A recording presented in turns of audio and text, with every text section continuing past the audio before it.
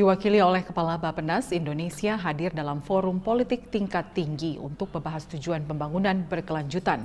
Momentum ini dimanfaatkan otorita Ibu Kota Negara Nusantara untuk berjejaring dan mencari investor asing. Berikut laporan jurnalis VOA Randy Wicaksana dari markas PBB di New York, Amerika Serikat.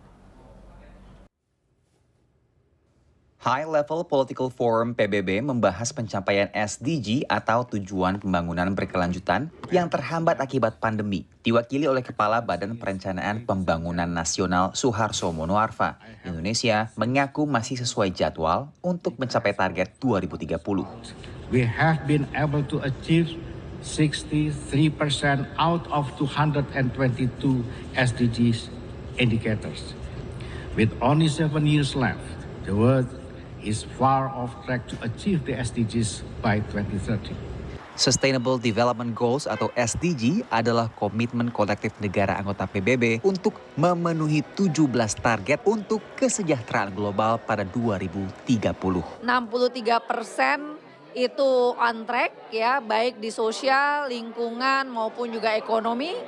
Kemudian sisanya itu ada yang worsen off, memburuk, tapi uh, sekitar 21 indikator itu memang datanya tidak tersedia. Karena pada saat COVID beberapa survei uh, tidak terlaksana. Pertemuan internasional di forum PBB ini juga dihadiri oleh otorita Ibu Kota Nusantara yang tengah mempersiapkan infrastruktur untuk pemindahan ibu kota.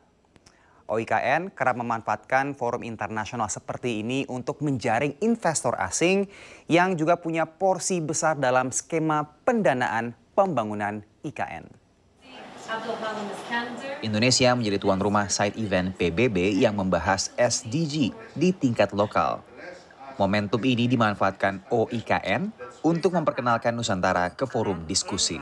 Pertemuan dari uh, side event ini tentunya ingin memperkenalkan progres dari uh, pembangunan di IKN dan bagaimana komitmen dari otorita Ibu Kota Nusantara terhadap uh, pelaksanaan dari SDGs. Dalam sidang Majelis Umum PBB September mendatang, OIKN hadir dalam rangka menjaring investor asing. IKN e Nusantara akan ditawarkan untuk menjadi kohos dalam pertemuan apa investor seluruh dunia ya tentu dalam rangka juga untuk menarik investasi karena kita tahu APBN itu hanya 20 persen, sisanya ada non APBN tentu kita harus mencari uh, sumber-sumber apa pendanaan di luar APBN dan kita sudah siap dengan uh, dua peraturan pemerintah.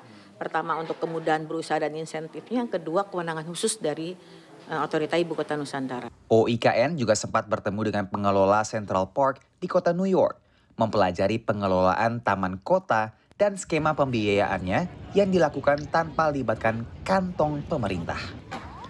Dari New York, Randy Wicaksana, VOA.